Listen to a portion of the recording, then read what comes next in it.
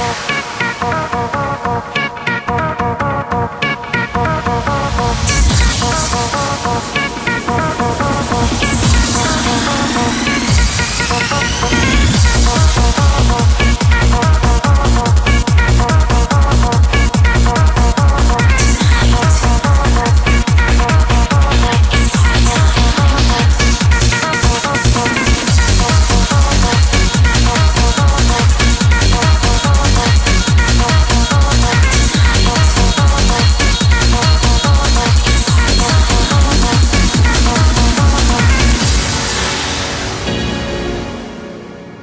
Well, welcome back to Soccer X. Um, would you believe it? This is our 10th show. We're now officially in double figures. Thank you so much for all of the support and for watching us over the last few weeks. And do please keep sending in those emails because we really do appreciate Our it. guest is Um, Wayne Hatswell, uh, Cambridge United, international even uh, now with Wayne. Obviously spent uh, a couple of seasons here at Rushden as well. Um, Wayne, welcome to our show. Thank you for having me. Oh, it's always a, always always a pleasure to have the old boys uh, the old boys back. Um, obviously now at Cambridge and tremendous season um, at the moment. Can you catch Burton?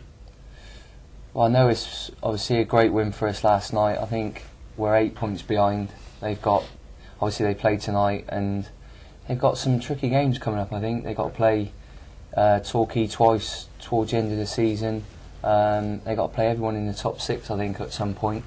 So, you know, if if, if they can do us a few favours, and it, I, I think we've got a chance. We've got a good, we've got a good running, and it, it, could, it could go to the wire. I think. I'll give you an interesting stat here for you. Go on then. is is that Andrew, please come on. We'll, we'll, we you can join in in a minute. Okay.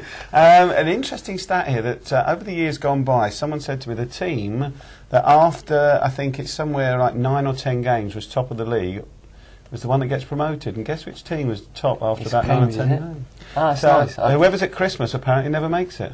Mm, that's uh, hopefully that's a good That'd be omen interesting, that. Yeah, it means absolutely nothing though, doesn't It, it? it means absolutely nothing because you've got to get the points on the board. But if you'd have said, uh, what, a month ago Yeah, with true. Burton that you would be eight points behind them, I mean, they were 12 and, and clear, weren't they? But I think So- I, I've never really, you know, you look at Burton and they're, w- they're well organised, but I've never really thought that, you know, they're that much better than, not. than, than everyone else. We we played them obviously recently as well, and uh, you know maybe maybe that's a big important factor with Nigel going.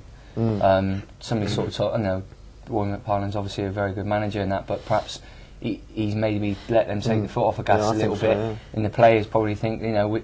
We don't really have to win this Mm. game, and there's no pressure on them. But they can't really No. turn it back on again, you know, when they need to. And they've got some big games coming up, and uh, hopefully for us, our momentum's going now, Mm. where we're doing Right. well, and it's a good time But I think be that's, playing well anyway. I think that's it. You know, goal last night, late on, Yeah. gets you the win. Same with Stevenage. Yeah. I mean, Mm. Stevenage at the minute are piling, piling Yeah. the results together. Yeah. Um, and when you're on that run, it, it takes you, it, is, takes you forward, just, doesn't it? Like I said, it's just momentum. You know, you get one or two, and then you keep going, you keep going, and you get into the habit, don't you, of, of getting results, and you keep pressing. And like you say, Stevenage, uh, obviously Cambridge. I think they're the teams that are going to be, and, and Burton almost get into the opposite, don't they? Yeah, they But, do. I mean, Torquay are not, you know, they win last night, but I mean, Torquay are, are sort of having a little A stutter. stutter, Wrexham are having a Yeah. stutter. You know, um, obviously Kettering can come up on the rails, but they've yeah, still got to win those be- games, so it's open, big, eh? It could be a couple It of big yeah. teams that might not even make the playoffs. So in that, if say if I think Torquay are getting it, but you know, they'd obviously had a little bit of a stutter up, and Wrexham are a big, big club. Mm. And if, Oh. if they don't, if they feel if they don't get in it with the run they've had, they're they're a huge club. Well, they've They invested as well, haven't they, in players, go haven't they? back, straight back up. Yeah. We need to talk about obviously the twelfth man at uh, at Cambridge and uh, a few a few words there. I mean, tremendous support this year. I mean, the crowd's up Oh. over three thousand. I mean, it's Yeah. been absolutely fantastic. It's a it is a little cauldron there, isn't it? is a really? cauldron, yeah. We, you know, last night, for instance, we we was obviously uh, playing the second half against, you know, into our fans, and at, at times they just they just sucked the ball in. We obviously got a good goal straight after half time, and we just lifted the crowd. And it, there was only going to be one winner, really, but Um, they do. They they, they suck the ball for, for away you. away They're- teams, it's horrible. I hate Yeah. playing at Cambridge. The Yeah, I fans are really hostile, and, Yeah. which is great as, from home supporters. Uh, Yeah. from for home players, you know, it's really you, you know you, you go and take a corner and you just get an abuse and Yeah, you are. It's, well, um, here, Some even say here, you're just wouldn't a home player. no, I never mentioned What that. you saying? Simon. You said I hate playing away. No, I didn't. I said I hate playing at Cambridge. Oh, sorry, sorry, No, sorry. that's it. It's, it is a, a, a you know a tough place to go. Mm. You know, and our record this year speaks speaks volumes for that. But I think even only a few even away from home, it's you know like even when we played here at Rushden and uh, the the support Mm. we had here was unbelievable. And You were lucky can that day, imagine we were lucky, yeah. And you can imagine the you know like at Histon we turned that into a home game. It's, Yeah. it's unbelievable the support they give us. We're talking about sucking the ball in the net. I suppose we've got to mention the uh, one of the Hats wonder strikes yeah, I know. for for Histon. Yeah, it Did was, you mean was- it? I did mean it. Yeah, you I sure? can't believe it. I can't believe you say that. But Well, it's, a, the only reason I say that was there was a bloke going when you hit that it. was me. Yeah. um, but no, it was nice to see it go in, and I, I'm. You should have seen me last night. I'm shooting from everywhere. now. uh, Is it like the first Where, It's forty like- yard? when did like you hit that wonder yeah. strike before? um, I think a few. There was Uh, one a when free kick one there at Cambridge earlier. It in started off actually for Rushden and You did. That's what I'm saying. You hit It a was wonder against strike. Bury. That was it. What a wonder strike. at, at Bury. that was and like that Johnny Metgod, wasn't it? It was uh, in the mud. I thought in didn't the it start Forest Green that goal when he put it in the stench? From, One, mo- yeah, not that one. I did score against Forest Green, oddly enough, uh, last season, and that was shown on on the Setanta, I think, and and that was a that one goal of the season last year.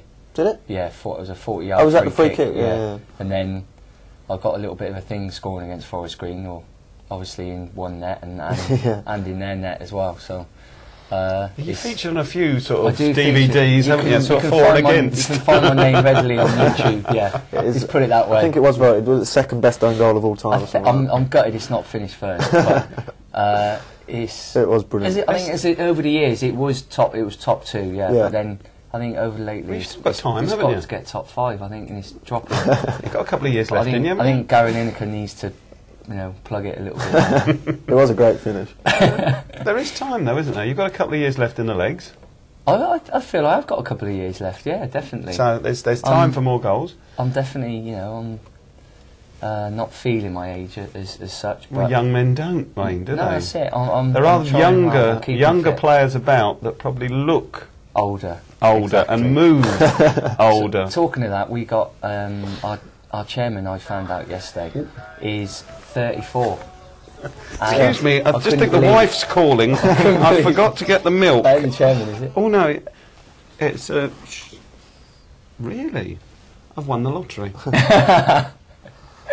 and yeah, he's obviously the chairman. I found out yesterday. He's the same age as me, so they're obviously the chairman are getting younger now, and the Oh, players are getting wow. older. But Surely Uh, two of you can't be fifty. well, that's it. I think maybe that's my next my next job. I don't know. Chairman. It- it- the, the next youngest chairman, yeah. Well, we'll come on, we'll come on to that one. Um, do you think it's probably the most successful period of your career at the moment? Obviously, Cambridge are really flying. Um, you're England captain. You know, you had that spell Yeah. last year. you feeling sort of um, that you know it's a, Yeah, it's a uh, good time for Wayne Hatswell in football? Yeah, I, I've I've really enjoyed it. You know, I obviously I left. You know, I left Rushden, and um, it was. I can't say it was dis- You know, obviously it was really really disappointing. We went down that year. That for me, that's the the, the lowest point in my career because I thought we we did enough that year to stay up, Hmm. and and I'll never ever forget that goal that. Um, uh, Dagnall scored against us for Rochdale when we were winning here one 0 and that would have Yeah. got us out of the bottom, out of the bottom two, and and that, and that sticks in my throat. And and obviously that's the last time I tasted league football. And and obviously since leaving, you know, the club's obviously been hard to get back into the league, and, and it's so difficult. And it, not, I can, I, I nearly tasted it last year, getting to the playoffs and obviously going to Cambridge at, uh, in January, which was a bit of, not a, obviously a little bit of a surprise, and I sort of right, I, I got a chance to get back in the league again, and that, that was, you know, obviously a, a gut a gut wrench for me losing at Wembley, but um, this year we kind of I thought right, it's going to be our year again, and I always said if we had it, if we were, I looked in the fixtures, I thought if we were there or thereabouts in February, I've said it before at the start of the season, I, I thought we'd win it. Hmm. Um, I just hope we haven't left it too late. But you know, it's going to be an exciting seven weeks. I think. Mm. Well, I think uh, if I if I can get back in the league, great, and it, it will be the best time of my career. Then I will say that if it'd be the best move I've ever had. But you know, if we don't go up, it, it could be one of them near near say things. Yeah. Um, Wayne Hatswell away from football. We we we can look on Wikipedia and we can find out about you in football and what have you. Take Wayne. Hatswell away from football, uh, and I remember speaking to you when you were here at Rushden and we, we were chatting about the future and what have you. Obviously, you're keen on your coaching, Yeah. um, and if we forget being a chairman, Yeah. a manager first. Yeah, I definitely, um, you know, my, my my attributes haven't changed in that way. I want to do. Um, hopefully, I'm on the the A license this year, and if I can get that while I'm still playing, I think there'll be a, a big factor in me trying to stay in football, which I Mm. want to do. Uh, I've you know I've stayed in it long enough to to for it to run through me blood a little bit, and I lo- you know I love the game, and and, and I I can't.